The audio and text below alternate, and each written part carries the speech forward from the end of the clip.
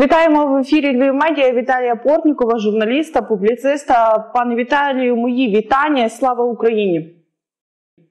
Героям слава! Е, десята річниця Революції Гідності, е, також і помаранчевої революції. В мене сьогодні вся стрічка в Фейсбуці заросніла спогадами про цей день, і кожен ділиться своїми емоціями, як в нього почалася революція гідності. Тоді ще це називали Євромайданом. Пане Віталію, ви пригадуєте початок ваш Євромайдану та вашої революції гідності? Так, добре пригадую. До речі, в мене е, цей початок Євромайдану е, практично відбувався так, як свого часу відбувався процес проголошення незалежності України. Це навіть не інтуїція, а знаєте, таке провідіння, яке керує твоїми діями. Мені здається, що я розповідав, що я е, з Москви до Києва взяв квиток на 18 серпня 1900. Е, 91 року. 19 серпня 1991 року я був в Києві, і вже почалися всі ці події пов'язані з Путчем і з проголошенням нашої незалежності 24 серпня 1991 року. Так от, 21 е, листопада 2013 року я теж прилетів з Москви до Києва. Я перед цим був в Москві. Це була моя остання подорож до Росії, тому що більше я там ніколи не був, як ви розумієте. Почався Майдан е, через е, певний час я був е, вже під санкціями Росії, але це дуже цікавий момент. Ця остання поїздка якраз була пов'язана із майбутнім майданом, із підписанням угоди про асоціацію. Я в Майдан 21 листопада, мені здається, почався у четвер, коли почали люди виходити в е, понеділок або у вівторок я зустрічався з е, однією чільною дипломаткою з дуже важливої для нас країни в Москві. І ми говорили якраз про те, чи можливі е, народні збурення, в разі якщо Янукович не підпише асоціацію. І я якраз стверджував, що це можливо. І це була така зустріч, вона була в кав'ярні. Я розумів, що за нами, напевно, стежать там ФСБшники. І я так думав, Ну, очевидно, я більше в е, Москву не приїду. Така була підспудна думка. Тому що якщо почнеться якісь заворушення, вони точно будуть вважати, що це я приїхав отримувати інструкції, як їх організувати. Тому що все було дуже схоже на нашу зустріч, якраз про е, те, як мають як, як має розвиватися ситуація, якщо їх не підпише угоди асоціації. У вівторок чи в середу треба подивитися. Я був в ефірі радіостанції Ехо Москви. Теж останній раз був в їхній студії в Москві, і ми теж говорили годину про Євроасоціацію. І я переконував своїх е, співрозмовників, що для України це єдиний цивілізаційний шлях. І я зараз подивився стенограму цієї розмови і побачив, як багато змінилося, тому що мої співрозмовники весь час намагалися мене е, перепитати. А чому Україна має вибирати між Європою і Росією? А я їм весь час сказав, тому що це наш цивілізаційний вибір, тому що у нас єдина можливість зустрітися з тими країнами, які, з якими ми були все життя в Європі. І, до речі, це єдина можливість зустрітися з Росією і Білорусією. Якщо ви колись змінитеся, ми теж можемо зустрітися в Європі. А вони мене ще не розуміли. Питали, а що ж буде із цінами на газ? А що ж буде а, а чи зможете ви прожити економічно, якщо ви підпишете угоду про асоціацію? І оце була така дивовижна розмова, не мов би на формально демократичній радіостанції, але така розмова е, сліпого із глухим. І я теж е, пам'ятаю, що я був дуже здивований тим, що не мов би ще угода не підписана, а ми вже в, на різних цивілізаційних е, якихось е, щаблях. І на 21 в мене був квиток е, до Києва в аеропорту Шереметьєво Я дізнався, що український уряд відмовився підписати угоду. Е, прилетів, і ввечері ми вже були на е, Майдані Незалежності. Ось так це починалося. Я сказав би, що я вчасно встиг, не пропустив нічого. Ви знаєте, я спілкувалася з бійцями на цю тему, і мені сказали. Е, люди учасники помаранчевої революції, революції гідності зараз е, захищають нашу незалежність. І я коли в них запитала, що ви розкажете своїм дітям про ці події, зокрема про революцію гідності, е, мені військовий сказав, незважаючи на, на втрати, які були, я скажу, що я був щасливий. Е, брати в цьому участь, мав за честь стояти поруч з цими людьми, що це просто великий крок вперед для нашої країни. І я собі отак подумала, ще 10 років тому, коли ми виходили в цю ніч, я дуже добре пам'ятаю, як мене вахтери не випускали зі гуртожитка, бо ще не знали, куди це я так іду вночі. Так, але ми зробили великий крок вперед, як на мою думку, тому що ще 10 років тому було складно собі уявити, що в нас будуть відкриті декларації депутатів. Що ми будемо знати, в кого які сумки і картини вдома знаходяться, незважаючи на те, що нам є ще над чим працювати, але чи ви погоджуєтеся зі мною, що насправді Євромайдан Революція Гідності це наш великий крок вперед як держави? Так це ж ви саме те говорите, про що говорив радник президента Росії Сергій Глаців, Віктор Яновичу і Микола Азарову з е, телевізійних екранів. Він нам казав: послухайте, ви ж не читали цієї угоди. Що ви робите? Ви розумієте, для до яких наслідків це для вас може призвести? Тому що Глазів, як е, будь-який російський номенклатурник, щирий прихильник тоталітарного ладу, розумів, що якщо ми будемо просуватися до Європи, все це почнеться. Він він же спеціаліст, був економіст, доктор наук. Він розумів, що будуть відкриті декларації, буде боротьба з корупцією, будуть антикорупційні органи, буде система контролю суспільства за владою. Все те, що з точки зору будь-якого російського чиновника і, можливо, багатьох російських громадян, і не має відбуватися. Тому що це неправильна держава. Правильна держава це та, якій влада контролює народ, а не народ контролює владу. І з цієї точки зору, безумовно, ми зробили е, важливі кроки, але не треба плутати, я б сказав, реальність того, що відбувалося. Євромайдан, який розпочався 21 листопада 2013 року, в тій чи іншій формі, закінчився 1 грудня 2013 року. Те, що відбувалося після 1 грудня 2013 року, ніяким Євромайданом не було. Це були національно визвольні змагання. Тому що головною метою Росії і її маріонетки Віктора Януковича який повністю втратив будь-яку самостійність на цей момент, було інтегрувати Україну до складу російського проекту і, можливо, в майбутньому російської держави. Я думаю, що зараз це не потрібно е, пояснювати. Це в листопаді 2013 року можна було говорити про важливість асоціації. Насправді, асоціація з Європейським Союзом не є запобіжником ні від чого взагалі. Ми цього просто не усвідомлювали. От є Грузія, яка підписала угоду про асоціацію з Європейським Союзом, а російські впливні тільки збільшується з кожним днем. І так було б з Україною, якщо б Віктор Янукович підписав би угоду про асоціацію. Були б всі ці відкриті декларації, можливо, всі якісь проформи. А насправді Україна була б частиною російської сфери впливу. На наше щастя, Володимир Путін і Віктор Янукович припустилися помилки.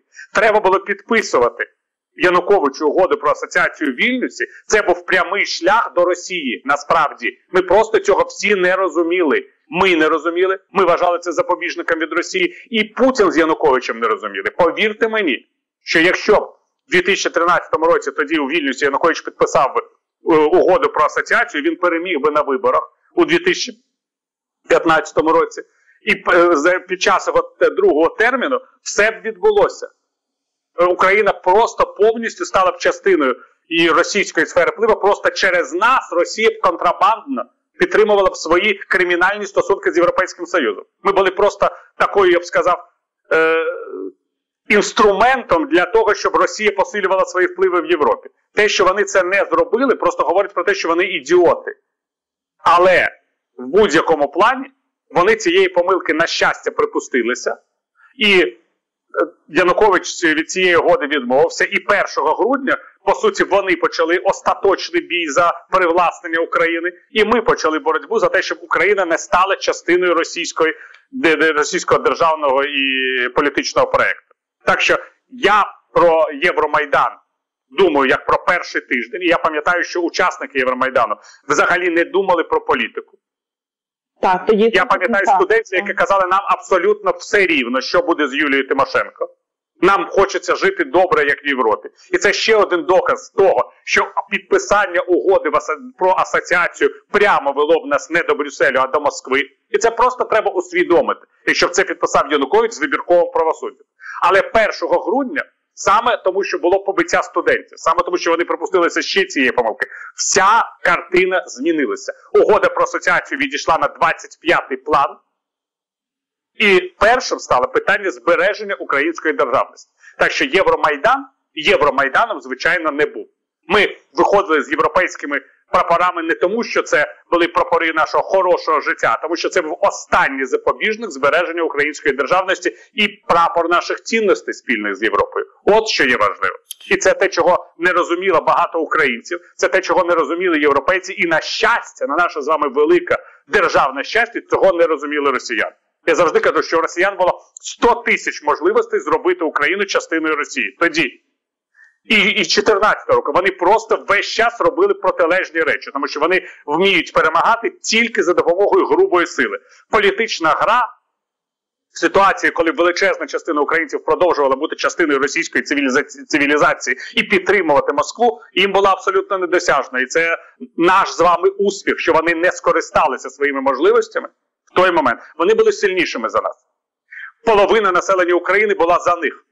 Всі карти були в їхніх руках, а вони все віддали нам. І коли зрозуміли, що вони все віддали нам, українським державникам, вирішили з Україною воювати і ще й бомбити міста Сходу і Півдня України, де завжди була їхня навіть не електоральна, а цивілізаційна база. Вони цю цивілізаційну базу вирішили винищити. Що, що ще про це сказати? Е, ну насправді, якщо вернутися до 2013-2014 року, так е, я би згадала такого собі Гліба Павловського. Він був, якщо я не помиляюся, політехнологом Януковича. Він тоді дуже голосно кричав про те, що Янукович у четвертому році програв, тому що Росія дуже м'яло втрутилася, не було силового розгону, і треба е, у 14-му силою розігнати, показати міць влади, міць законного президента. Дать революції в морду. Так, та, та, та, О, точно, якраз ви вкрали у мене фразу з язика, що називається. І мені здається, що те, що ви кажете, так вони припустилися помилки, тому що е, процитую назву книжки президента Кучми Україна не Росія. Тут так не проходить. І мені здається, що саме побиття студентів перевернуло. Е, українців розбудило, тому що е, ментально для українців діти дуже сакральна і важлива цінність. Для мене, до речі, є величезною загадкою, чому Гліб який взагалі народився в Одесі, абсолютно не розумів, що відбувається в е, країні, яку йому його доручили зробити частиною російської сфери впливу. І я нього про це запитував. Я весь час питав, чому він е, не усвідомлює, що потрібен абсолютно інший е, інструментарій співробітництва між Росією і Україною, і що це різні цивілізації. Але оце тут теж цікаво, що люди, які починають працювати з російською номенклатурою, вони мають е, єдину можливість транслювати її власні уявлення про е, світ. Оце теж доводить те, про що ми з вами говоримо. За великим рахунком, я думаю, що такі люди, як Павловський і Глазів, який теж народився у Запоріжжі, прекрасно розуміли, як потрібно діяти. Але люди, які замовляли їхні послуги на той момент, Путін, Патрушев. Бортніков, це ж все ті ж самі люди. Вони ж за 10 років, як ви розумієте, не змінилися, і ще за 10 можуть не змінитися.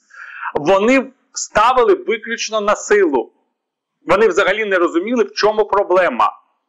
Ну, якісь там люди зібралися біля резиденції президента чи там на Майдані. Ну, розігні, розі... треба їх розігнати, і на цьому все закінчиться. Саме тому, що ви їм не показуєте силу, вони нагліють. І, до речі, я вам нагадаю, що Путін рівно так сприйняв. 2019 е, рік, коли після зустрічі в Парижі люди виходили до офісу президента Зеленського протестувати проти там якоїсь частини домовленостей е, в по нормандському формату, скажімо, проти цього цієї спільної ради представників України та так званих народних республік, Путін теж вирішив, що Зеленський просто зраджує його і виборців, тому що йому потрібно розігнати націоналістів, які зібралися біля його резиденції. Те, що Зеленський просто президент України, який прислуховується для спів... до співвітчизників, і просто навіть на думку не спадав Путіну. Навіть після двох майданів. От уявіть собі, Путін пережив як президент Росії два майдани. І Майдан 2004 року, і Майдан 2013-2014 року були за його президентства. Це не те, що він в книжках це читав. Ні, він не зробив жодного висновку. Він навіть після 2014 року вважав, що українська президентська адміністрація просто не бажає застосовувати силу. З якихось, я б сказав, конспірологічних причин не бажає. А якщо б хотіла йому Путіну дійсно бути союзником чи домовлятися з ним, то просто б розігнала всіх цих людішок і домовилася на путінських умовах. В чому проблема? І це різні, я б сказав, уявлення про цивілізацію. Там, де в Україні шукають компромісу якогось порозуміння. Навіть Янукович намагався імітувати круглий стіл, пам'ятаєте? Так, він зустрічався з лідерами Майдану, навіть О. щось там домовлявся, навіть йшов нібито виконав навіть, всі вимоги. Навіть нібито зустрічі з студентами. Так, так, так, так. Ну, тобто імітував демократію, як вмів. Ну, але, але давайте я ще пригадаю, що він дуже вдало імітував демократію, тому що напередодні початку Євромайдану у нас була Єврокомісія на чолі, якщо я не помиляюся, з Качинським, де а, просто там стахановськими способами в Верховній Раді, нібито голосувалися а, євроатлантичні законопроекти, змінювалося наше законодавство. Ми так ніби йшли навіть для Єврокомісії. Це було трошки здивування, що ми відмовилися від підписання. Звичайно, коли там який депутат Ігор Марко відмовився підтримати підтримати євроінтеграцію, а він був е, від е, партії регіонів обраний. Вони ж знищили його партію Родіна, цю е, російську агентуру, тому що Янукович вважав, що демократія це коли це коли його депутати голосують так, як і він їм говорить. Це теж було його таке уявлення про життя. Але звичайно, я погоджуюся з тим, що коли він там ухвалював якесь рішення, то він як асфальтовий цей бульдозер Е, йшов е, щодо його виконання. В будь-якому разі це така відмінність від е, культури діалогу, навіть культури імітації діалогу. І Брандсбойтом. Російська влада взагалі не розуміє, що таке діалог. Вона розуміє, що таке розігнати.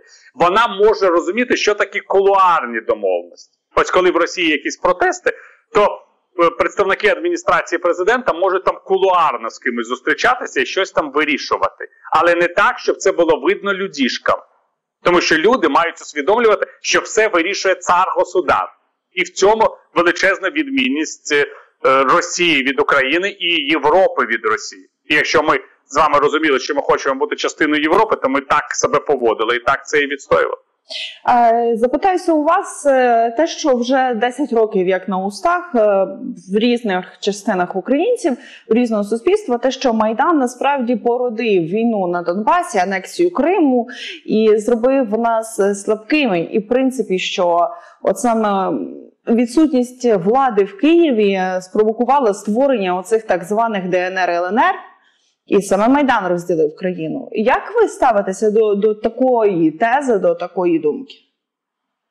Я не дуже розумію взагалі, що як українці ставилися до цієї держави, яка існувала до 2014 року. Якщо одного прекрасного дня виявилося, що президент України, голова уряду України, перший заступник голови уряду України, голова Національного банку України, міністр внутрішніх справ голова Служби безпеки України, начальник Генерального штабу е, Збройних сил України, е, начальник е, військово-морських сил України, голова Державної податкової служби України, міністр оборони України, Генеральний прокурор України. Я вже думаю, що я використав час ефіру. Всі опинилися в Москві.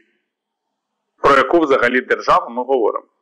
Ми що не розуміємо, що насправді на кінець 2013 року це був Бантустан просто російська колонія.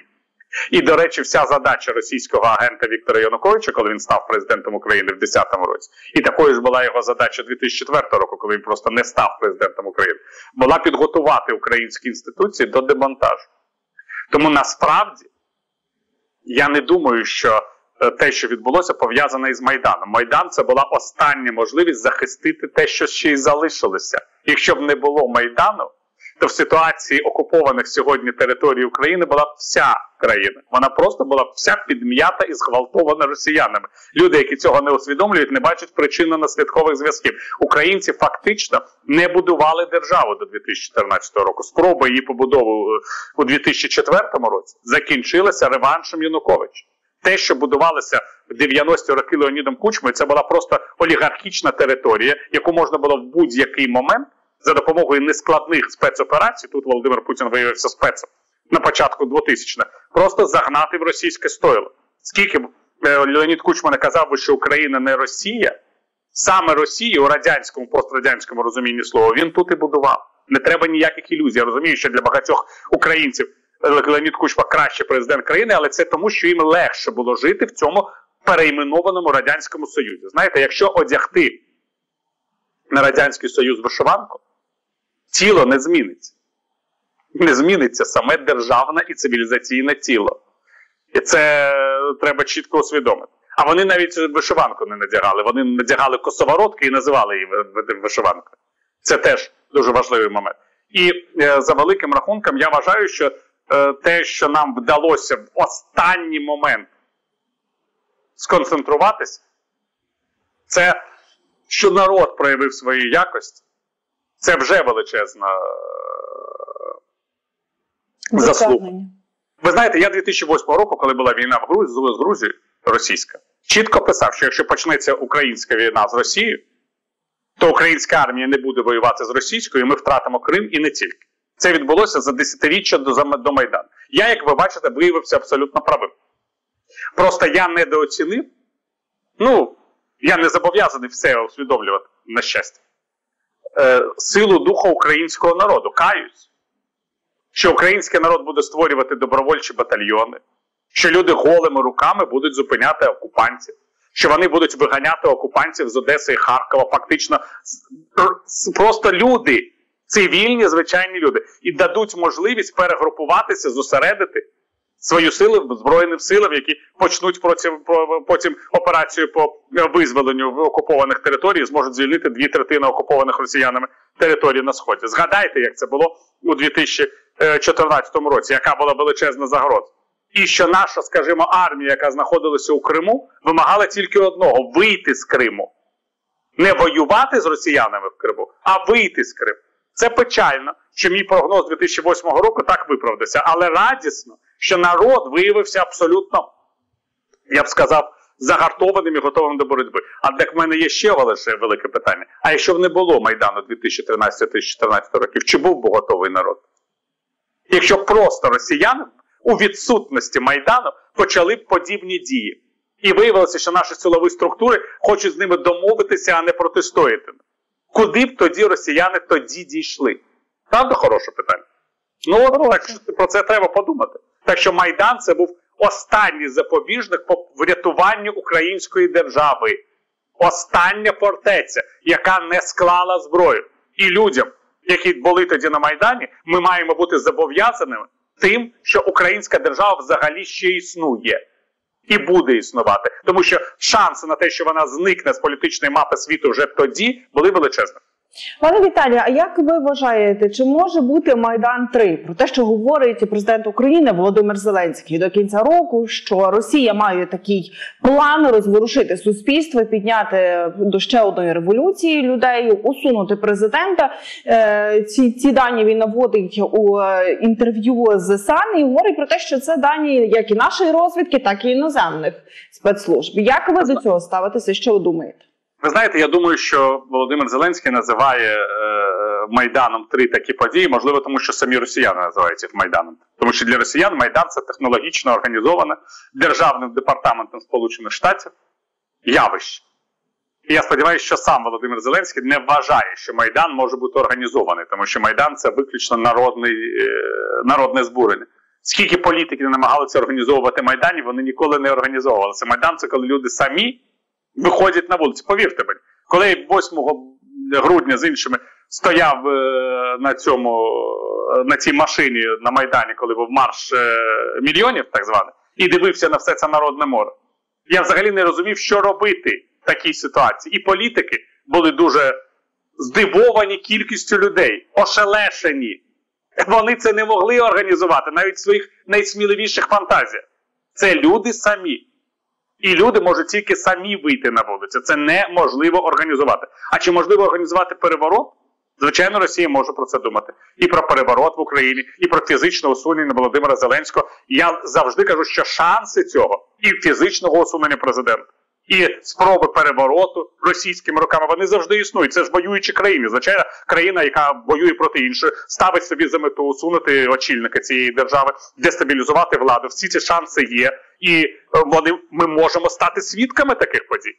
Важливо до них готуватися, важливо мати сильні спеціальні служби, важливо усвідомлювати, що відбувається. Але я знаю чіткі ліки від будь-яких російських спроб розхитати і змінити владу. Уряд національної єдності, військовий кабінет, об'єднання патріотичних сил, лідери українських політичних сил в одному уряді. Я впевнений, що одна політична сила не має морального права керувати країною під час війни. Такий підход до справ завжди призводить до криз і помилок. Я про це кажу з лютого 2022 року. Я впевнений, що ніякого майдану 3 не буде, тому що майдан це завжди рух за національну е, свободу, за національну незалежність. А сьогодні українці борються за незалежність із російськими загарбниками, а не з українським керівництвом. Які б там помилки це українське керівництво не робило. А те, що з обов'язок українського керівництва створити уряд національної єдності і зрозуміти, як виглядає ситуація в критичному моменті, мені здається, зрозуміло. З простих причин війна це завжди ухвалення непопулярних рішень. Влада, яка працює одноосібно і думає про майбутні вибори, не може ухвалювати непопулярні рішення, відкладає їх і таким чином створює умови для краху. Для того, щоб запобігти краху, потрібно ухвалювати непопулярні рішення. Відповідальність за непопулярні рішення мають взяти на себе всі проукраїнські сили країни. Без уряду національної єдності ми будемо просто воювати і боротися на 10 років довше. От і все. Пане Віталію, я вам дякую, що знайшли час нами поспілкуватися, поділитися своїми спогадами та думками і своїм аналізом. Віталій Портніков, журналіст-публіцист, був в ефірі Львів Медіа. Пане Віталію, ще раз дякую і гарного дня. Слава Україні! Героям слава.